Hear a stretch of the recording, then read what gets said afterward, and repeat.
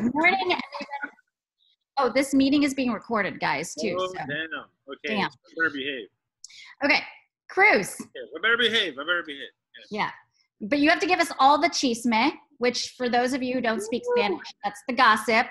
That's Well, the intel. That's the 411. um, so thanks everybody for joining us. This is part of a year long uh, series that we're calling Pilot Projects, which is really thinking about how ASU Art Museum can think about what museums will look like in the future and in the now. Uh, we were compelled to do things like this as a result of COVID 19, but it's really a long time coming. And as Kat said, one of the things I think museums need to do better is show show the life of the artist and what is going on behind the scenes. We do a great job of presenting beautiful work in white spaces, but if if my the, the joy of my job uh, for over 20 years has been being inside the artist studio, understanding what they're doing, and really being moved moved and affected by that. And one of the artists that has most moved me, and has uh, really someone who I uh, am a hu- longtime follower and huge supporter is Cruz Ortiz, who has done a project for us at the at the at the ASU art museum. So we'll go into that in a little bit. But we're gonna um, start with a little bit of an icebreaker because i'm not gonna talk about your bio because that's boring. People can go online for that. So i want to know like who are you? Who is cruz? Well, um, I, ken I, edis. But also start with who are you and like what are you drinking what are you eating Well, I, I, you know, in Texas it's noon, so uh, I'm already done with breakfast. Uh, we, we, my family, every Sunday we go get barbacoa uh, from across the street, uh, which is, I, you know, it's like the head of a cattle, the head of cow, and so boil it down, cook it, and you, they serve it to you in a pan. That's what we had. We had Big Red, barbacoa, pico de gallo, and corn tortillas, and now I'm drinking coffee. gross i'm a vegetarian so that's all sounds gross but good for you I'm vegetarian. I'm kidding. well, I am drink. Well, I am drinking this amazing coffee. What? Yeah, I'm fancy like that. You muy fancy. Muy fancy. Oh, I have a T-shirt of yours that says "Muy fancy." I should have worn it. Um, but this is from my favorite store in Phoenix. It's called Shop for the People, and we've got. I'm going to do a little shout out to Sean there. Raise your hand, Sean. And Yeah, and. Chad. And they have a um, uh, cream coffee inside, and they're doing like the most amazing. And I like to drink it with my pug. Uh, Nacho. my You gotta pug give it coffee. Nacho. No, Nacho's got his own like Instagram. This this dog yeah. is legit. But my mom also made me my favorite breakfast is nopalitos dog. with beans, right? Yeah. That's Spoiled. called chiflada. That's called chiflada. What does that mean in English? Uh, spoiled person. no, no, no. um, okay, so tell me, tell us, who are you? What are you? I- What's you going know, on? I've been making work for I, a while. Like I, I keep freaking out that my my age keeps getting bigger and it freaks, freaks me out. But uh, for the most part, I've been making work uh, for over 25 years probably. Um, and you know, a lot of it, you know, I, I kind of hate to pin myself down onto one thing and or even style, even though I think I don't have a style, but then everyone's like, no, dude, you, you have a style. I'm like, oh, well, I don't. I don't ever think about that. And I think um, when I think about my work long term, uh, there's different, you know, uh, themes that popped up. Um, for the most part, it's just, you know, it's really just me, right? I'm putting myself out there uh, in my reality of where, where I'm from, where I've been, and uh, the exchanges that I have. And I think that's, you know, that's what a lot, you know, a lot of artists, you know, of course, that's what they do is, is that So, sharing. Let me get into that. Let me get into that a little bit. Like we, I'm looking at the chats too. Let's keep looking at the chats, you and I, so we can see what's going on there. But I'm gonna do like a little icebreaker because, like, where are you from? That informs so many artists. Because Oh, I happen to think that when you look at an artwork, it's just like one object. It's like a manifestation of everything you've ever seen, read, listened to, heard, gotten heartbroken from, everything. Like that one work of art is got so much in it. So, little icebreaker for you. Um, tell us where you're from, and then describe what work, like what work of art, like a song, movie, painting, dance, book, describes your childhood and where you're from. And for the rest of the group, everybody here, put in chat, you guys, let's, where are you all from? What painting, drawing, poem, whatever, perfectly kind of encapsulates where you're from? Throw it on chat and then we'll, we'll talk about it too. But, uh, Cruz.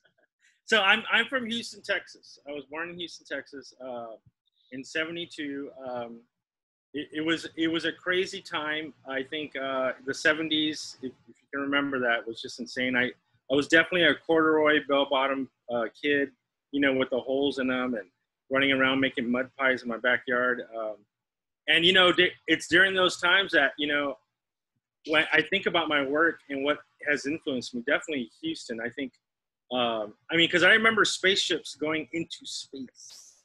Like literally, they would take us out, at, you know, at the elementary school, and like, okay, everyone, let's go out. NASA's launching another something or other, and you know, we're drinking twang, Tang, and you know, and eating those cereals, and so, you know, that totally influenced a lot of my work as far as uh, the entire Spaztec series, um, which What's is a series of, of paintings, drawings, video, performance art that I did uh, based on this uh, this kind of Charlie Chaplin character. Uh, do you have any images in your studio? Show us. You know what? Do I do. Got one right here. What? Where? He's right up there. You're frozen.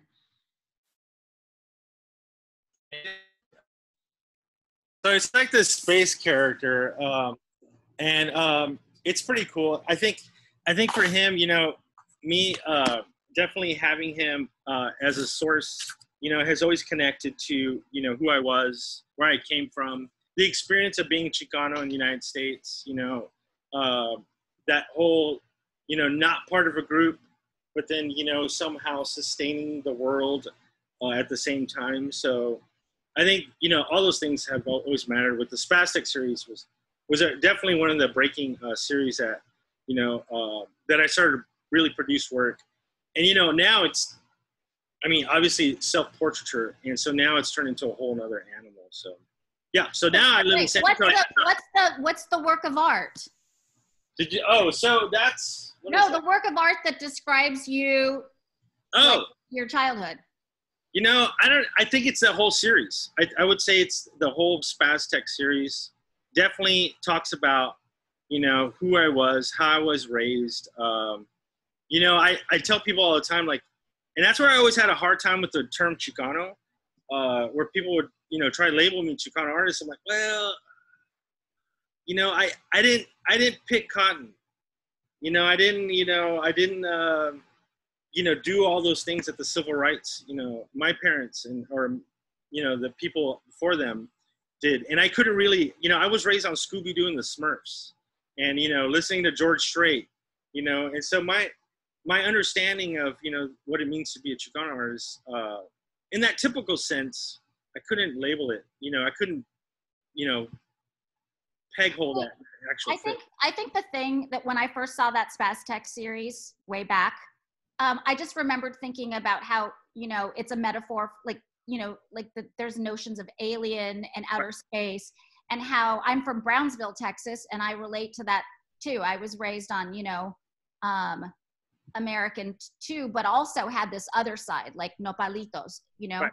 and but that part wasn't really visible you know only the other part of me. So i always felt i've always to this day still felt like there's always this other part of me that's hidden that i only choose to show once in a while and when I saw that Spaztec series, it, it really, like, I really, res- it resonated for me because I understood what it's like to be outside and inside and be like an astronaut, like of this world and outside and not, and sort of negotiate space.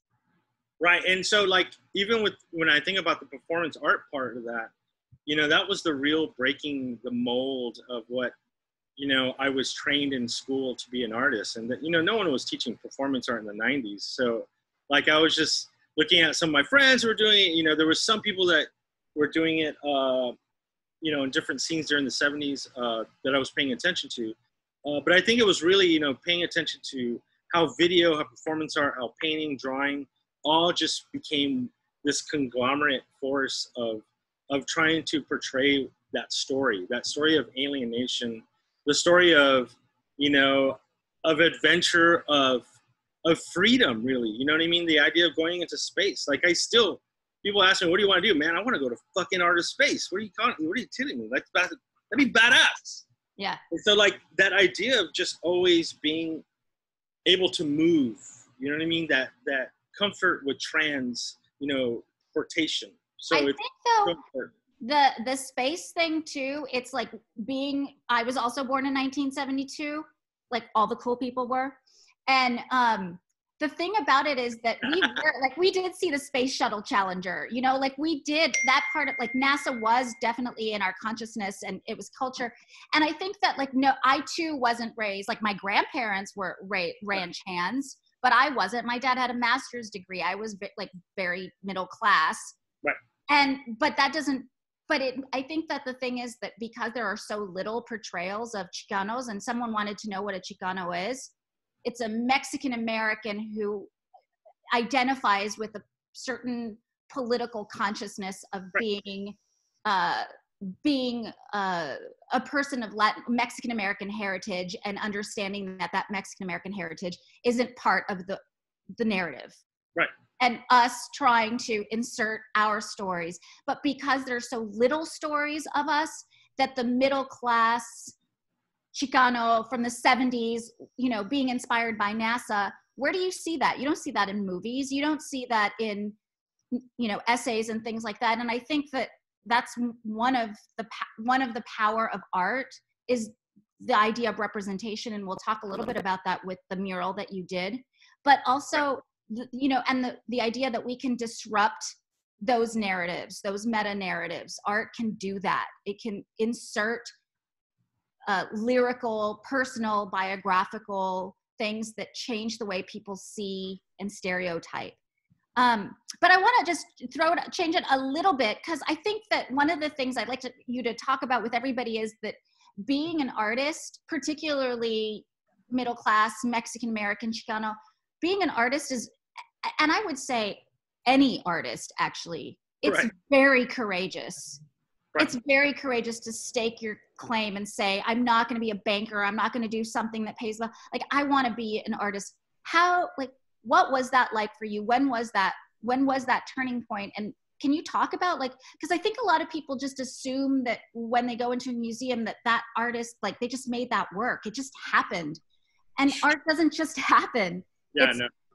You know tell, tell us a little bit about that Well, I, you know, I, I think about people have asked me that before in a, in a very general sense about, you know, when did it all start? How did it happen? Kind of thing. I think I've always known, even as a kid, like I was, I, and I tell people all this time, but i when I smell bleach, I think of my childhood because my mom would get pissed off at me because I would always draw on the walls with crayons, like huge dinosaurs and like all over the house. Like the molding on the doors, like those classic 70s doors, I would fill in all the little pieces with crayon.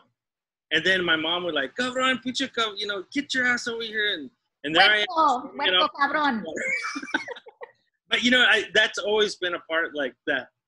That creative sense has always been a part of you know who I am. Now, you know, as that stuff develops, you know, I think it's definitely work. I, I tell this to people all the time. It's like I'm constantly researching. I mean, a lot of my work is reading. Uh, I do a lot of writing, even more writing now. I think uh, the last two years I've been writing a lot, um, and I think that has a lot to do with the printing press and stuff that I, I'll show y'all later. But um, but just the importance of you know understanding that you know being an artist includes so much more. You know, not just the creative part, but there's also the research part, and there's also the business part that I think that a lot of folks. Um, you know, I, I've learned from a lot of artists, you know, in reading their biographies and how they did stuff, and then you know, I kind of figured stuff out. And then of course, you know, I talked to other artists. How do you know how do you handle your business? Like it's essentially a business too. So there's that whole animal that I think about. We'll, we'll talk about that, but can you show us the printing press and then tell us a little bit about you were a high school art teacher, right? Yeah, I was a high school art teacher. So show us the printing press. So I was uh, a high school teacher. Wait, I think you're a little bit. I'll show you real quick, just a little quick. I'm gonna make everyone dizzy. This is actually the property.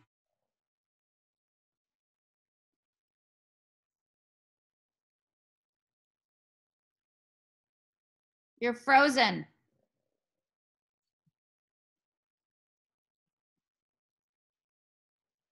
Cruz, you're, you're frozen. Can everybody else see? Kat, can you see him? He's frozen? Okay, hold on a second. Maybe he shouldn't move then. For, hey, Cruz, you're frozen, so go really slow. Okay, I'll go slow. Yeah, and when you move, just like go like this. Just go like this. Okay. Don't move. Oh my God, I'm not going to move.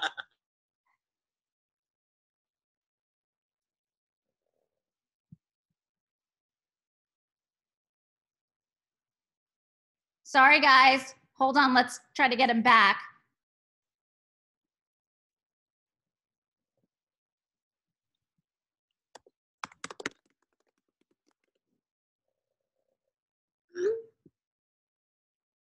Just texted him. Hold on. Oh, it's a hotspot. Don't move. Don't move anymore. You you get frozen. I think it's the the range of the Wi-Fi. Let me uh, do this. Just leave it. Just stay put. Gente is watching. I'm just gonna do this. How about that? Yeah, yeah, yeah. Just leave so it like over that. there is the print shop. So what we have over there are um, there's three printing presses. There's a 1920s Chandler and Price uh, Platen press, and then we have uh, two cylinder presses. Um, so they're all letter presses where we use lead type, wood type, uh, wood cuts, and then um, and then we just got some new monsters that are badass. I'm super excited about them, but um, they're able to really reproduce lots of uh, wood cuts, like like 100 prints, you know, every three minutes or some shit. So it's pretty intense. So anyway, I love these things. So it's part of the practice. Printing, high school art teacher. How'd you become an artist? Well, uh, that was that was that was a crazy jump. I was really worried about it. You know, I think um, especially in San Antonio, you know, in Texas, uh, it's not New York, LA, or those you know hubs, epicenters for contemporary art.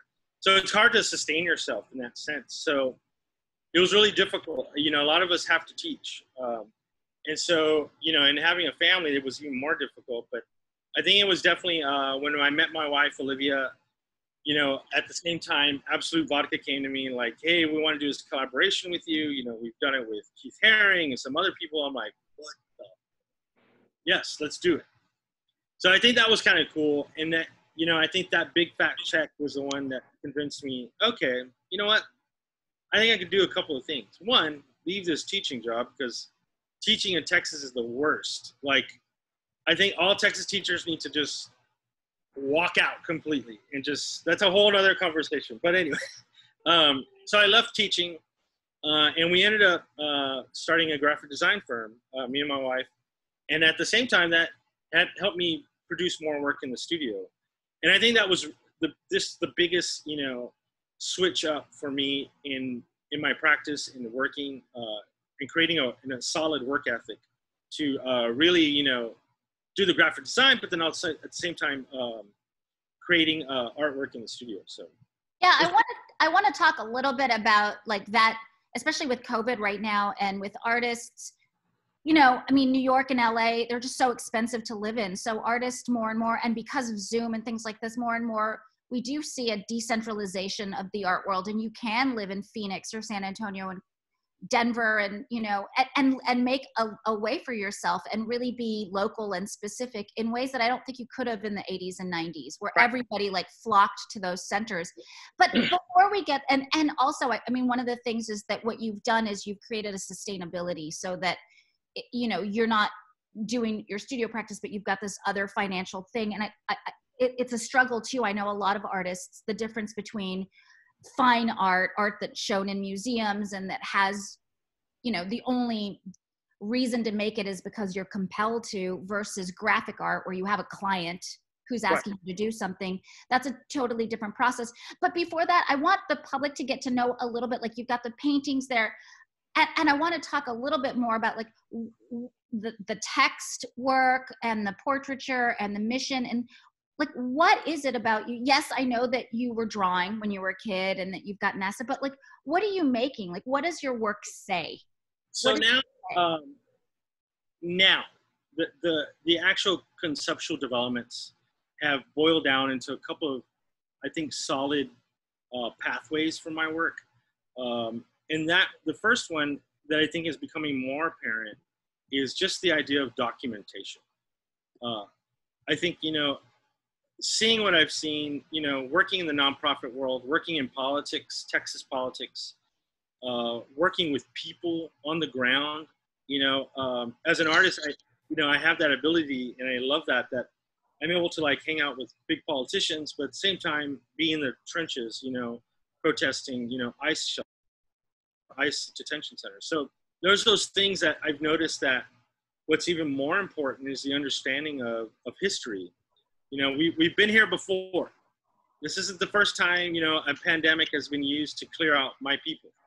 So, you know, as I research that has what has happened before, I'm finding gaps. There's huge gaps of not knowing what's going on. I mean, Texas, even the story of the Alamo, you know, is, is such a farce. It's it's so made up and so very Hollywood that you know, there was an entire business community of Tejanos, Mexicanos, already situated in San Antonio. The Alamo was like on the outskirts of that little square. And it was a bunch of crazy gringos decided to take over that old mission. So, you know, those stories, that idea that, that you know, those aren't there and I'm not finding them. So as an artist, and also who's very interested in politics and interested in, interested in my people and the history of my people, I find it even more imperative to document today, now. Who are the people working right now? Who are the people making the difference uh, in other ways that we don't get to see in the news or the media? So it's almost like I have I've created that sensibility of ability of making sure that I'm doing my best to document the people, the stories, uh, and also providing access to that information, right? That's the other thing too. I could be documenting, but what if it just sits in my studio? You know what I mean? That does nothing. So well, yeah, that we, let's talk about the portraiture series. But I'm just I moved to um, before you got on. I was reading um, Gloria Anzaldúa and Cherríe Moraga, and and and you know a lot of the reasons I became a museum director as well is, and I think what drives a lot of the work, the curatorial projects I've done, not specifically Latinx, but is about insert it's about disrupting what we think we know. It's about adding to it disrupting it. And for my own reasons because i didn't have access to my own memories my own stories my culture's stories have been eradicated uh, that i seek to introduce and contribute in a lot of ways the way you do. I'm just going to read a quote from cherríe moraga the really well known. Um, I think Tiffany Lopez is on here. She can add a little bit um, onto the chat of who Cherríe is.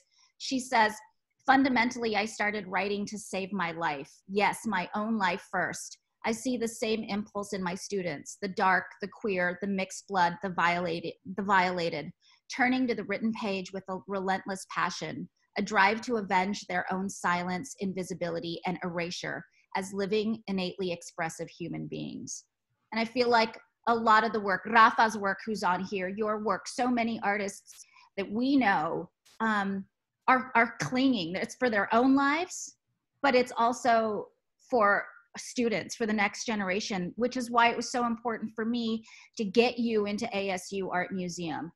to be able to influence and talk about how we can distribute and diffuse this kind of critical thinking which is don't just think about the things you know. What are the hidden things? What are the you know and um can you look at can you talk to us about the portraiture and how you're doing the storytelling and maybe show us a couple? But don't move too much.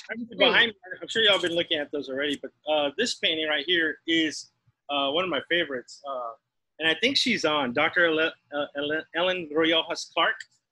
Uh, she's an amazing uh, chicana scholar here based in texas.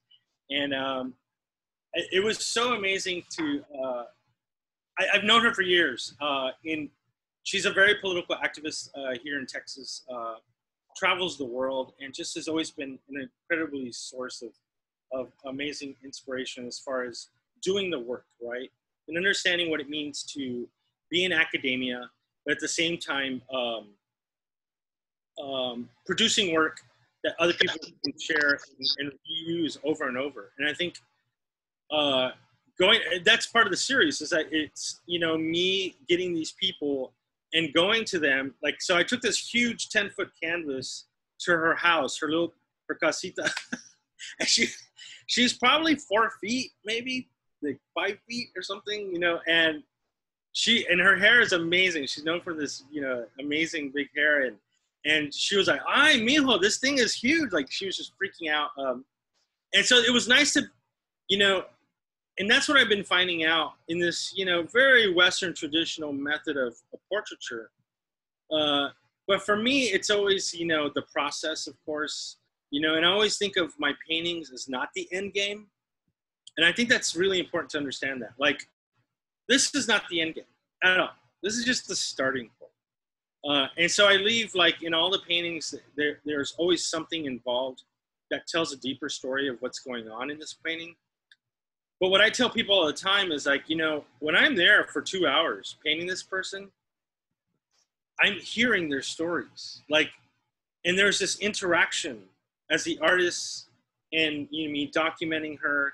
And you know, at the time she was feeling ill, so she was drinking tequila because uh, that's what she does to heal, which is our great elder advice. Uh, so yeah, there's even a bottle of tequila there. Um, and so you know, all these things that that exchange was what was important to me. And I think documenting that was probably the the most important part of this painting of of you know getting those oral stories. We come from a people of oral stories. That's why we don't have a lot of history. It's the oral stories that you know get stopped. And I think that's that beautiful native tradition of just understanding how do we keep those things intact and to carry those on so that's what this portraiture series has started. And so now I, you know, I'm painting politicians, I'm painting activists, uh, I'm painting uh, different activists from the Chicano community, from the Native American community. Uh, so there's, it's been really neat. I've been painting um, people who don't ever get recognized. So this is a painting of, um, this is a painting of Willie Velasquez dug in deep back there. There's a stack of these paintings. Uh, so, and Willie Velasquez was a um, he. He's the one who termed the su voto su voz, um, and he was uh, instrumental in, in, in, What does that mean in English for those that don't? Voto su voz is your vote is your voice, and so he was the first one to really like get down. He was a doctorate. He, you know, had already been you know being a professor at UT, I think, in in St. Mary's, and so he com- came up with a whole process of just let's just get people registered to vote. He goes like he figured it out. It's almost like using you know the slave owner slave owners' tools on the plantation to take over this damn plantation. So I think that's what he did. Is like he, you know other people like him, and so those are you know those are the things that we need to document. Those important stories. I think, and Willie Velasquez is one of those um, who did that. You need to look him up. I'll put his name in. Yeah, I mean, I think that the thing is that you are um, you're creating podcasts now right. with these stories, and this is, I mean, there's an active there's an active part for you of, of yes, they look beautiful in museum, but this is this is really our record the record that we we don't have. I mean i when i look at your work i don't i always think like one of the things is you used to use a lot of text in your work and Well- a lot of Spanglish. And I don't know if you have any of those. Well, I, I'm gonna show. I you know people don't really ever get to see this part of the painting, but down here, ah, let's see. Those are those are books that Dr. Clark had some involvement with, and um, I'll see about taking a picture of these and sending it to the group. But um, all these paintings, you know, uh, or all these texts on these uh, forums that look like books um, are super important. And I think, you know, those are the things that, you know, using text to further document, you know, the people and the stories of people, I think is so important. Um, and she was awesome because, you know, in talking to her while painting this painting, she was really like, I need you to put these books in there. Can you do that? I'm like, girl, I'm like Photoshop. We can add all. What do you want? You want a dog in there? We'll put it in there. So, Hey, well, like, yeah, I've got one in the background there, and it's me and Nacho. So, make sure. Yeah. Um, Cruz, you know, yeah, does, do- does Olivia or does anybody can they bring to the thing like one of your T-shirts or one of the paintings? Um, you know what? we would have to go to another section of the studio. Don't do it. I don't think Yeah, I'm not gonna do that. But anyway, I mean, for all of you, we can look, we can share the screen too and take a look because it's 1036. I want to spend about next five minutes on the sh- work at ASU Art Museum. Cool. But the thing about the text that I really love and that I was I was sharing um, with with you earlier is that it's English. So like I have that T-shirt that says "muy fancy." Oh, look, Um, okay, you got it. Yeah, you move. Don't have the computer move. How about that? so here's the painting. What does it say? Sabes que? I think te amo mucho, mucho. What does that mean? And Well, it's you know it's funny because I'm from Texas, and we speak a whole nother language of, of Spanish, English.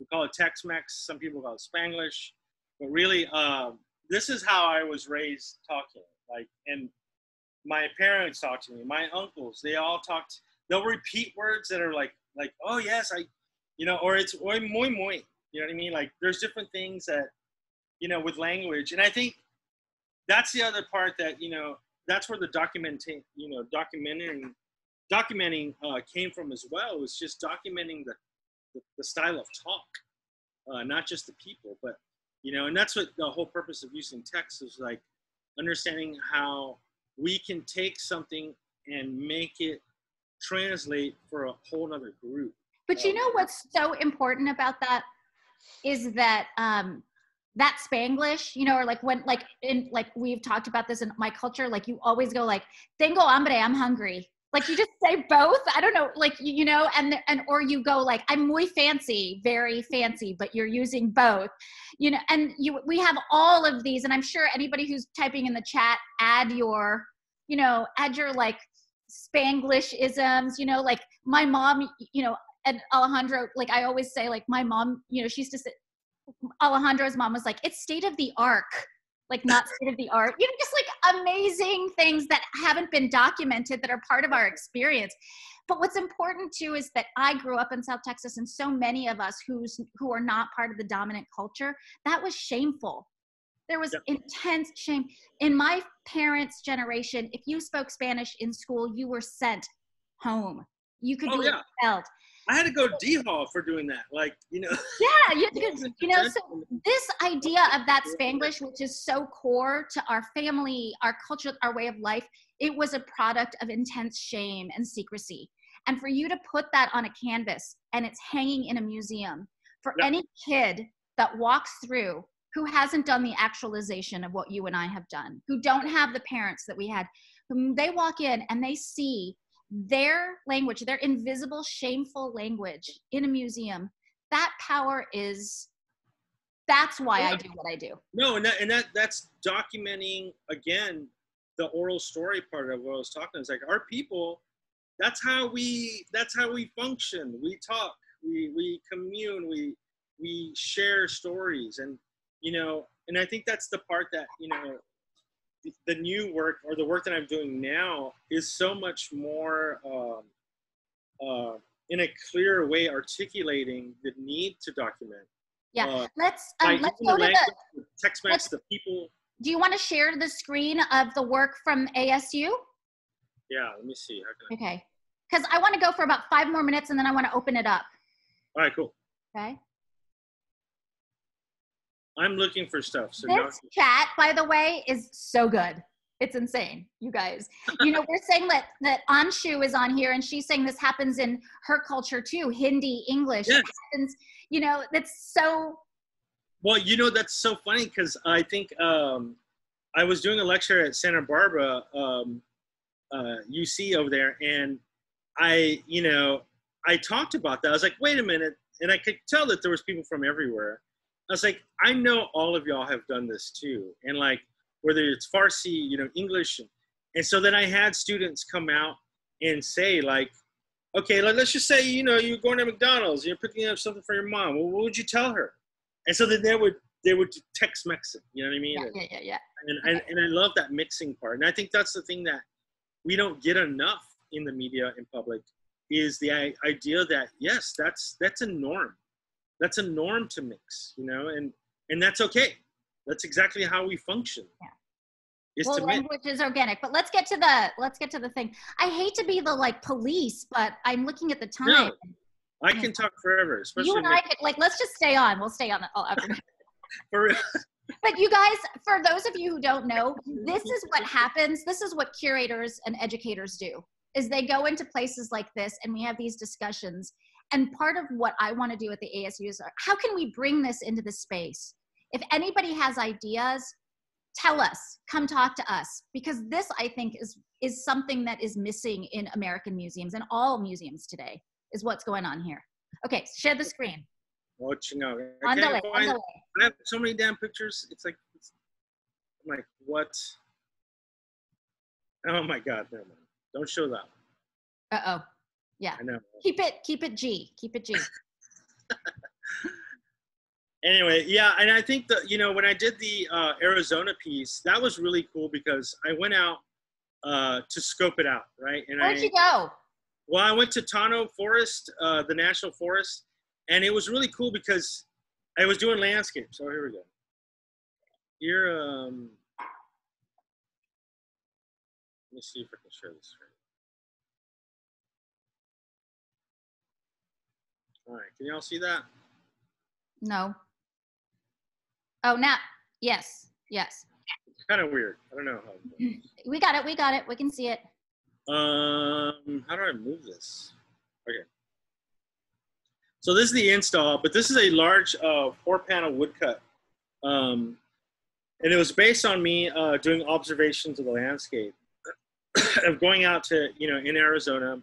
Uh, these are the Camelback Mountains uh, up there in the top, and there's the moon, and then just the the history of people crossing that border. I wanted, or those lands. I mean, that's the thing too is like you know people for generations have been traveling through phoenix that corridor uh you know native peoples have been there was no border like that's so funny to even think about a border um but yeah and so the, the that you know that water jug represents you know people traveling through there the the the snake you know as again another storyteller figure in native uh chicano uh, understandings. Um, and then uh, you, you have the person who's in the river, uh, who's born in the river, who's of the river, um, and just always in love. He's looking up, he's dreaming. Um, and I think that's the other thing too. Like when I think about my work, I think about not only the documentation,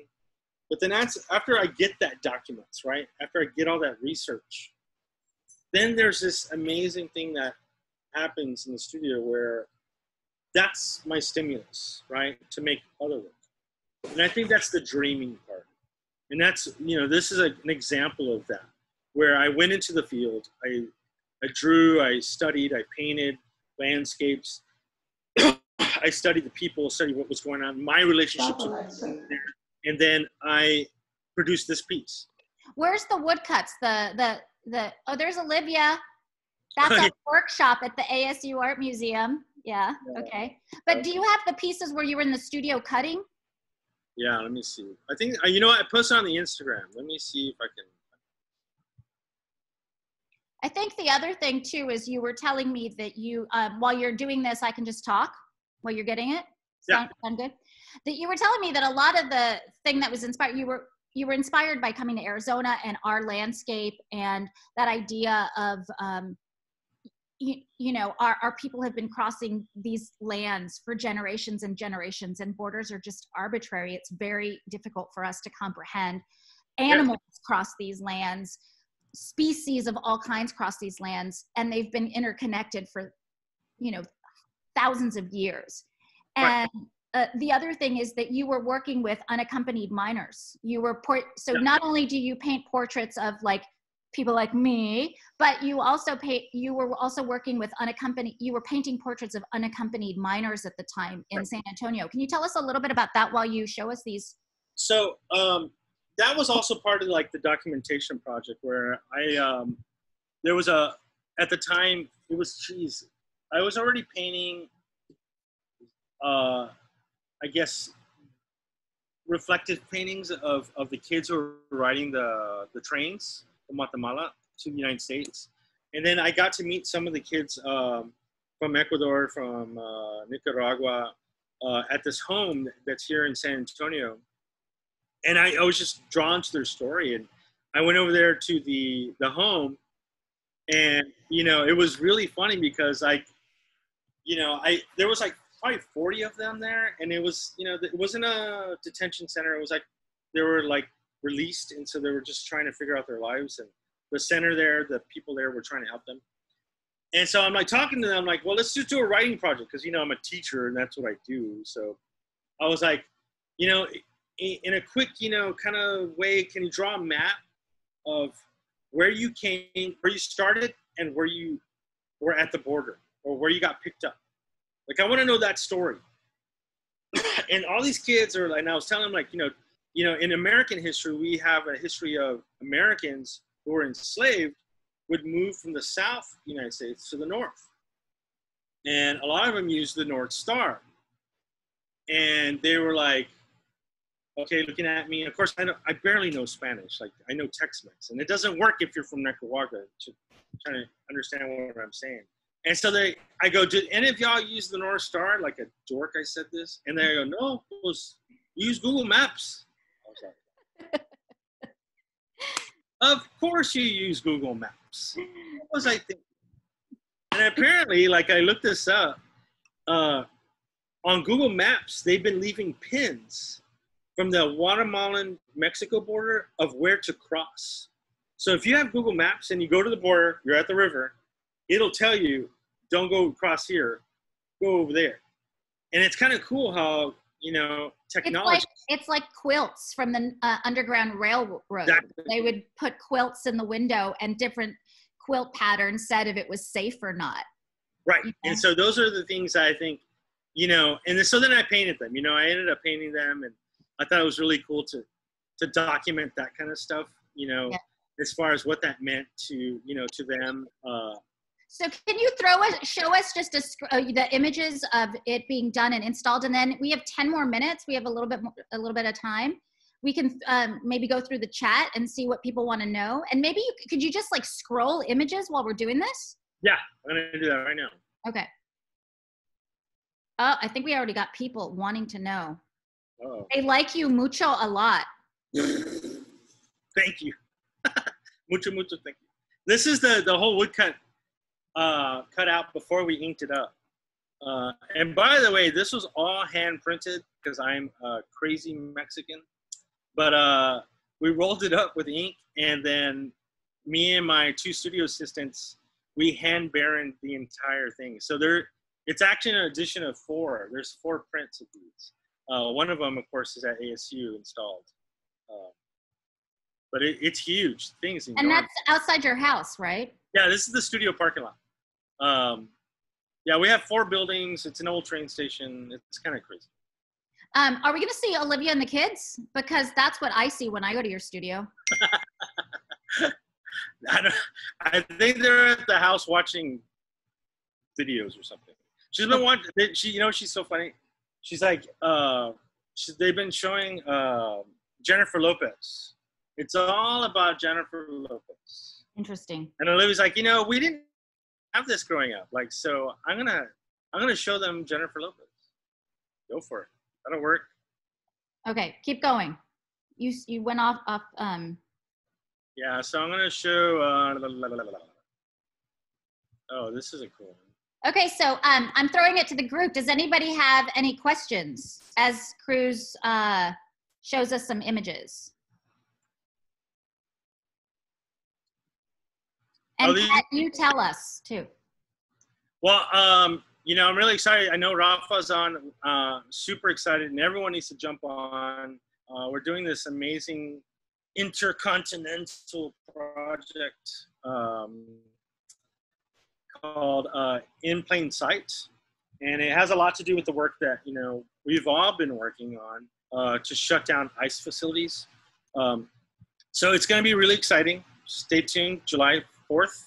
Uh, look up, look up into the skies of all the major cities because we're going to do a really cool project. It's going to be fun. Uh, you can follow it on Instagram. In Plain Sight uh, has a, a whole uh, feature on you know exactly what those details are and, and who's involved as well. It's uh, Cassils and Rafa are the, the leads on these, so it's going to be really exciting to work on. That. Uh, Gloria Jenka wants to know how long did it take? Gloria Jenka! How long did it take to make this woodcut for us? La Reina de la Mesa de Santa Barbara. Yes. Uh, these, the big ones took about a week. Uh, this one took about two days. Um, yeah, I. That's the big roller. It's pretty fun. And then at our workshop, uh, what Kat and Andrea, our education per- people, did is you can actually make pañuelos, like the little um, handkerchief that you got there. And um, Sure. you can take your kids, you can by yourself, anybody. Like we have this interactive workshop where this is so that you're not just going to a museum and looking at art. You can actually go to our museum and make art uh, inspired by the work on view. And so you can make a handkerchief w- with all of these like uh, I, all of the symbols on the on the woodcut. So when we're back, you can you can come back and hang out with Yeah. us. That's us installing it. We we paste it directly onto the wall um, at the museum. It was super fun. And It went up really quick. It went up like in 30 minutes or something. good. Which I, that's what I love about these these prints. I mean, they're they're they're. It's a great way. Like you know, I've done these a lot. You know, in in urban areas where I just you know do prints and wheat paste prints up. But to do this on this level was really cool, and to do a screen print. I mean, a woodcut print was really really cool. I think what's really important too is that in the history of Chicano art in the 60s and 70s, and even if you think about, you know, um, like Posada and Mexican art in the 1800s and 1900s, the most efficient and um, uh, economic way to make art was printmaking and Right. posters and you know and it was a way that was accessible and democratic so that that you're continuing this tradition is also really important because it kind of symbolizes that any of us if we want to make art we don't have to like get a canvas and do all this stuff like you can make art you can draw make you know Yeah. carve do this it's available to you hey we have a really great question about uh, the impact of the quarantine and what's going on and maybe you can throw us to a burnt nopal So um, the quarantine's been fun. I think you know, you know, I, I think it's what artists all want. is to is to you know, is to have that chance for um, you know to be in the studio without being. The, the only thing is, you know, I, I've been loving it. You know, I, you know, it's horrible because you know we have to be really careful. We have a special needs daughter, so we're really like super strict here. We spray down everything, like literally, and UV light everything. Um, but um, as far as the practice, I think it's been really interesting. I, I can't get people to, you know, just I can't paint a lot of people anymore. So we've been changing that up where we, uh, I invited um, a friend of ours to sit outside the studio. So we did like a social distancing portrait uh, session, which is really cool. Um, but for the most part, you know, I think it's it's more about you know really honing the practice uh, the importance of documenting. I've been writing almost every other day um, about what's happening with my family because I want my kids to know, like, or generations after this, like, what was Cruz Ortiz doing during the pandemic? You know, we we see a lot of that where people are researching, you know, Fitzgerald, you know, or you know, what did, what, what did they do during the Spanish flu? So I think those kind of things are important to to continue to to write and to document. So. Can you, um, in our last five minutes, show us burnt nopal? Yeah, let me show you the. So Burnt Nopal is a uh, graphic design company, and um, it's uh, I you know I'm I can't say it's me because it's not. It's uh, my wife Olivia. Uh, Who's amazing. She's my I love her. Yeah, she's amazing. The um, so we, we are essentially a design firm, but uh, over 75% of our clients uh, are nonprofits. So a lot of the, the clients that we work with are, are usually people who can't afford graphic design. Um, and we do our best to help them. And so because of that, we, we do a lot of uh, politicians. We work with a lot of politicians. Um, Show us the Julian. Do you have the Julian one? Yeah. Um, and so, yeah, that was one of our our cool um, clients was a presidential candidate, Julian Castro, who's a hometown boy, right? He's our hometown boy. Where is it? Show it. I think we have this. That's one of our, yeah, the Julian Castro. This was really fun. This is actually in LA, where we uh, we helped really like come up with merch, come up with a, a brand for for his look uh, for a campaign, and we, you know, we wanted to challenge what you know you've seen before, right? And so we wanted this bold, you know, font. You know, we used like the little uh, the torch and the for the accent, which was a big thing for him. You know, to making sure that people got that accent right, which is, you know, just continuing the history of you know of what Julian and the Castro family have done, you know, especially with his mom, uh, being so important in Chicano politics in South Texas. Um, you know, a lot of people don't know that, but her story is huge. Uh, she was one of the La, Raza Unida party uh, candidates that ran in South Texas. You know, a lot of people don't know that, but South Texas had, you know, it didn't have the Green Party, but we did have a strong third party in a lot of the South Texas counties. Um, and so his mom was part of a part of that whole effort to help switch around not looking at Democrats, not looking at Republicans that are saying, no, we need our own party. So I thought that was amazing. Uh, he and, and, you know, histories, again, histories we don't, yeah. Our, our kids, you know, in elementary school, they don't have that history. No, no, no, that's not, that's not going to be told. Cruz, uh, people want to know the link to the podcast where you've been um, uh, okay. doing the stories. So put that on there.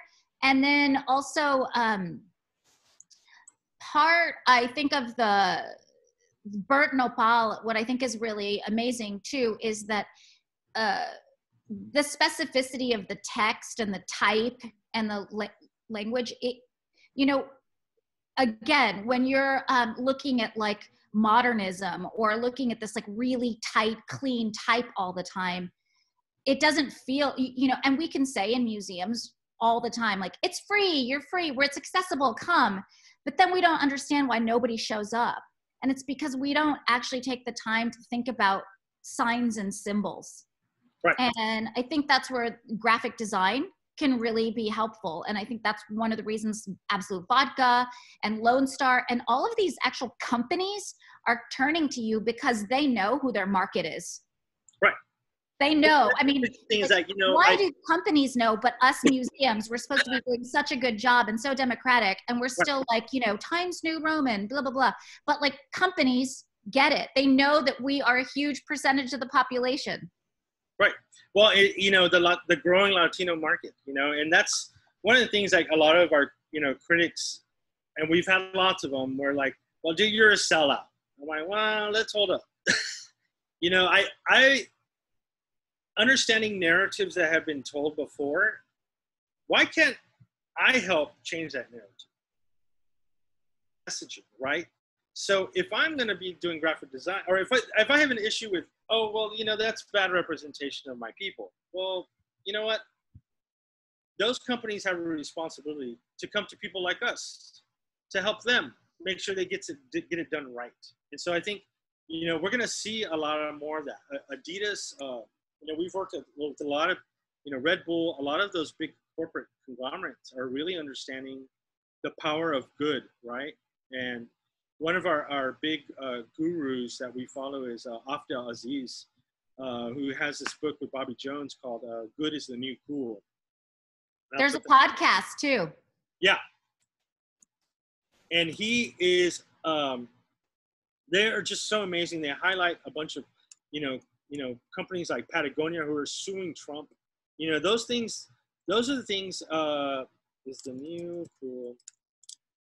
Um, those are the things that, you know, we need to see more of. And I think, you know, if we're going to be in this kind of society where, you know, we're seeing things not turn out to be so well, then let's be part of the solution, not just bitching all the time. So I think that's what Nopal is about. It's it's about providing, you know, access to uh, those kind of being that link, making sure, like Lone Star, Pabst Brewing came to us specifically saying, you know, we see the change in demographic in, in Texas. We, we see it.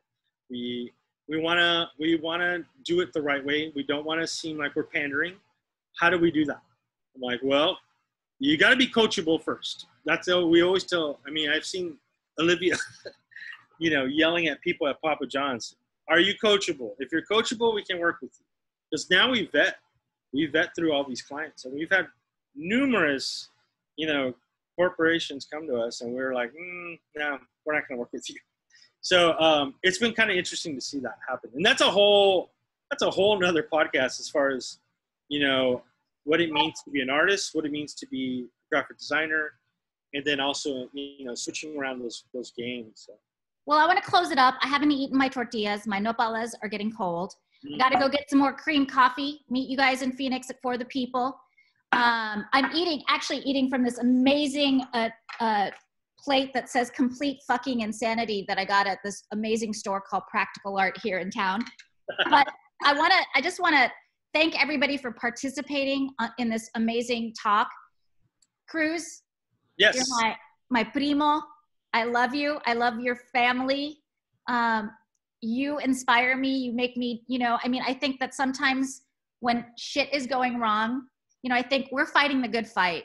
I can go to bed and know that we're, you know, what we do every day is contributing. And so I want to thank you. And I want to thank everybody for being on this, like being our guinea pigs. Um, yes. Um, I hope to see you guys. We're going to be doing a lot more Zoom, a lot more uh, pilot projects. And the thing about us is that ASU Art Museum is coachable.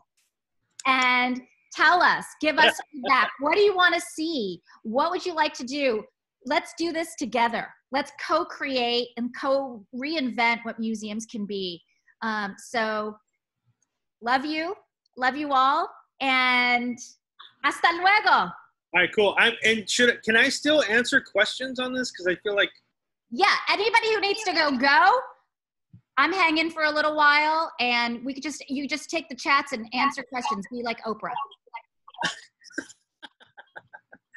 All right. All right, I'm gonna stop. How do I do this?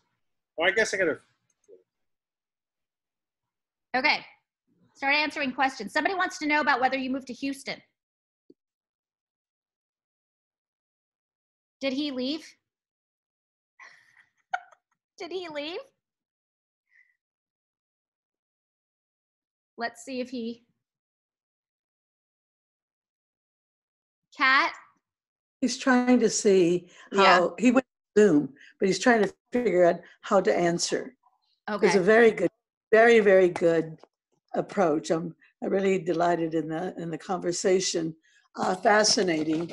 Uh, my point about us being viewers of art is that we bring our own perspectives, our own experiences, our own abilities, and in general, somos, you know, that we can really read Cruz Ortiz's work so well because we understand his use of symbols, his text, his icons, and of course, all the themes that he portrays. So thank you for making it visible to everybody.